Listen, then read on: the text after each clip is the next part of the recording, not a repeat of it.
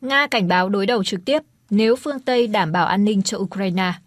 Quan chức cấp cao Nga cảnh báo nếu phương Tây đảm bảo an ninh cho Ukraine, điều này có thể dẫn tới kịch bản khối này đối đầu trực tiếp với Moscow. Phó Chủ tịch Hội đồng An ninh Nga Dmitry Medvedev ngày 25 tháng 12 cho rằng những cam kết đảm bảo an ninh của phương Tây cho Kiev là không có tác dụng, nhưng nó có thể mở đường cho việc NATO đặt căn cứ quân sự ở Ukraine, từ đó dẫn tới kịch bản xung đột trực tiếp giữa phương Tây và Moscow. Tuyên bố an ninh lần đầu tiên được các thành viên của nhóm G7 thông qua vào tháng 7 hứa hẹn viện trợ quân sự cho Kiev cũng như các khuôn khổ để hỗ trợ cơ sở công nghiệp quốc phòng và chia sẻ thông tin tình báo cho Ukraine. Moscow đã cáo buộc những văn bản này là sự xâm phạm an ninh của Nga. Ông Medvedev đồng thời cáo buộc kế hoạch của Kiev nhằm thuyết phục EU đảm bảo an ninh cho Ukraine là một nỗ lực mới để tạo ra sự đồng thuận chống Nga. Tuy nhiên, ông cho rằng tuyên bố đảm bảo an ninh cho Ukraine không có mang lại thêm giá trị gì và đó chỉ là một tuyên bố công khai và nó không có tác dụng. Theo ông Medvedev, văn bản này có thể mở đường cho việc Ukraine ký hiệp định an ninh song phương với các nước phương Tây, từ đó dẫn tới hoạt động hợp tác sản xuất vũ khí, huấn luyện quân sự và các chương trình khác có lợi cho Kiev. Ông cho rằng một thỏa thuận như vậy thậm chí có thể khiến một số nước phương Tây lập căn cứ quân sự ở Ukraine. Đây là cuộc diễn tập chúng tôi sẽ không kết nạp Ukraine vào NATO vì chúng tôi không muốn chiến tranh với Nga. Tuy nhiên, trên cơ sở quốc gia riêng lẻ, hãy làm điều mình muốn. Ông Medvedev cảnh báo điều này có thể mở đường cho một cuộc xung đột quy mô lớn giữa quốc gia NATO và Nga. Khi Nga tấn công một căn cứ như vậy, và điều này chắc chắn sẽ xảy ra vì quân nhân của căn cứ đó đến Ukraine để chiến đấu với chúng tôi. Liệu các nước NATO có sẵn sàng cho một phản ứng tập thể không? Ông thắc mắc. Bình luận của ông Medvedev được đưa ra sau khi ông Andrei Sibiga, phó tránh văn phòng Tổng thống Ukraine nói rằng 6 thành viên EU gồm Áo, Croatia, Ba Lan, Hungary, Slovakia và Malta vẫn chưa ủng hộ các đảm bảo an ninh cho Kiev, đồng thời dự đoán rằng các nước trên chắc chắn sẽ làm như vậy. Hồi đầu tháng, ông Medvedev cảnh báo rằng nguy cơ xung đột giữa Nga và NATO dẫn tới Thế chiến thứ ba chưa bao giờ lớn như lúc này. Chưa bao giờ kể từ cuộc khủng hoảng tên lửa Cuba, mối đe dọa về một cuộc đụng độ trực tiếp giữa Nga và NATO có thể dẫn tới Thế chiến thứ ba lại thực tế đến thế, ông viết trên Telegram. Trước đó, Tổng thống Mỹ Joe Biden cảnh báo nếu Nga giành chiến thắng ở Ukraine và tiếp tục nhằm vào một đồng minh NATO, quân đội Mỹ sẽ buộc phải đối đầu với Nga. Đây không phải là lần đầu tiên các quan chức Nga, Mỹ cảnh báo về nguy cơ bùng phát Thế chiến thứ ba hoặc xung đột hạt nhân. Kể từ khi bắt đầu chiến dịch quân sự ở nước láng giềng từ hôm 24 tháng 2, giới chức Nga đã nhiều lần đề cập tới học thuyết hạt nhân của nước này, trong đó nêu rõ những điều kiện cho phép Moscow được quyền sử dụng vũ khí hạt nhân.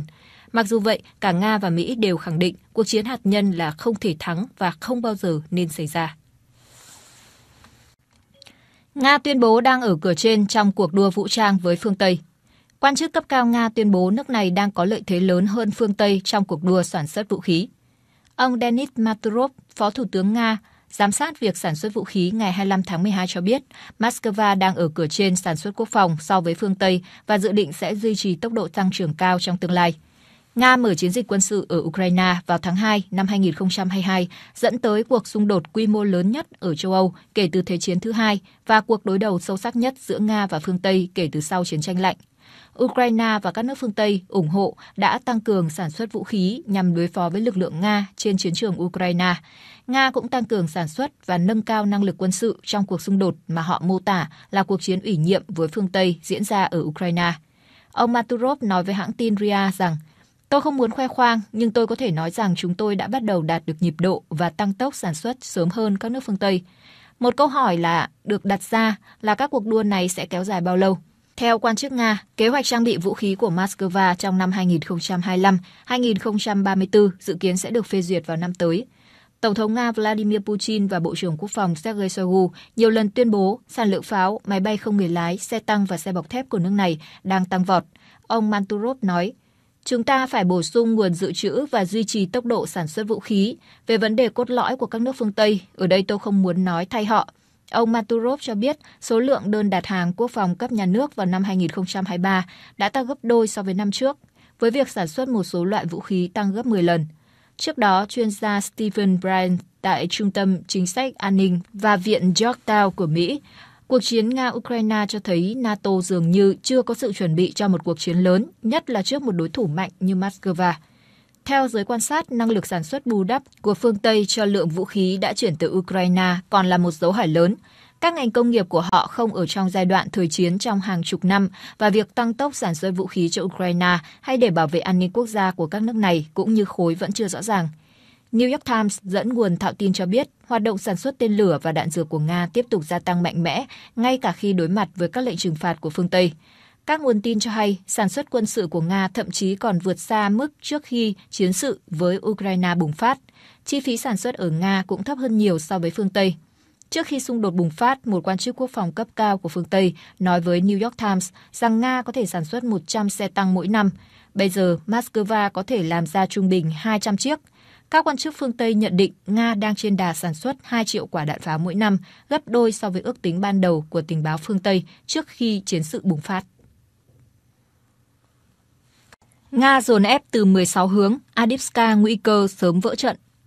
Các sĩ quan Ukraine chỉ huy phòng thủ Adivska lo ngại nơi này sẽ thất thủ trong thời gian ngắn và gây ra những tổn thất về người lớn nếu không có thêm viện trợ quốc tế. Quân đội Ukraine lo ngại Nga có thể chọc thủng tuyến phòng thủ của nước này trong vài ngày tới nếu Mỹ không cam kết viện trợ thêm trong bối cảnh giao tranh ác liệt diễn ra tại thị trấn công nghiệp trọng điểm Adivska theo Independent. Tình hình rất khó khăn, nhưng những người thuộc lực lượng phòng vệ đang giữ vững vị trí của mình. Ông Vitaly Barabas, người đứng đầu cơ quan quản lý quân sự của Adipska, trả lời phỏng vấn Independent. Khi mà Quốc hội Mỹ không thể nhất trí thông qua ngay cả một gói viện trợ nhỏ hoặc là tạm thời cho Ukraine trước kỳ nghỉ lễ, các chỉ huy tiền tuyến của Ukraine đã đưa ra cảnh báo nghiệt ngã về tương lai của đất nước này nếu họ phải tự chiến đấu. Ông Barabas nói rằng viện trợ Mỹ dừng lại sẽ dẫn đến tổn thất to lớn cho cả quân nhân và dân thường ở Adipska. Ông nói, tuyến phòng thủ có thể thay đổi và nó sẽ dẫn đến những tổn thất nặng nề giống như khi bắt đầu giao tranh toàn diện trong 15 ngày qua, đối phương đã tích cực sử dụng hàng chục khí tài trên không. Quân đội chúng tôi đã và đang tiêu diệt những khí tài này. Chúng phần lớn đều bị bắn hạ, ông nói. Đối phương đang dồn ép từ gần 16 hướng dọc theo tuyến phòng thủ Adipska, Nhà máy hóa chất và than cốc Adipska và hướng Stepovs là quan trọng nhất cho các cuộc tấn công của họ. Và tất nhiên là cả hướng các làng Peromais, Optin, Vodan, nơi họ cố gắng tiến vào từ hai bên sườn. Ông Barabas nói. Lực lượng Nga dường như đã được chuẩn bị tốt hơn trong mùa đông thứ hai so với Ukraine. Quốc gia đã rót nhiều nguồn lực vào cuộc phản công mùa hè này nhưng không đạt được kết quả như kỳ vọng. Theo ông Barabas, tình trạng thiếu đạn dược đang là điều gây áp lực lớn nhất. Điều quan trọng nhất mà chúng tôi cần không chỉ là hướng Adipska mà là trên toàn tuyến phòng thủ để ngăn chặn quân Nga có càng nhiều đạn dược càng tốt. Chúng tôi cần nhiều hơn đạn pháo 155 ly và HIMARS, ông nói. Dmytro Lazuskin, người phát ngôn lữ đoàn cơ giới độc lập số 47 của Ukraine, đang chấn giữ vùng ngoại ô phía bắc Adipska nói rằng chính nguồn cung vũ khí từ phương Tây là thứ giúp đơn vị của mình trụ vững trước các cuộc tấn công dữ dội từ Nga. Tất nhiên, viện trợ của phương Tây rất quan trọng, ông Lazuskin nói với Independent.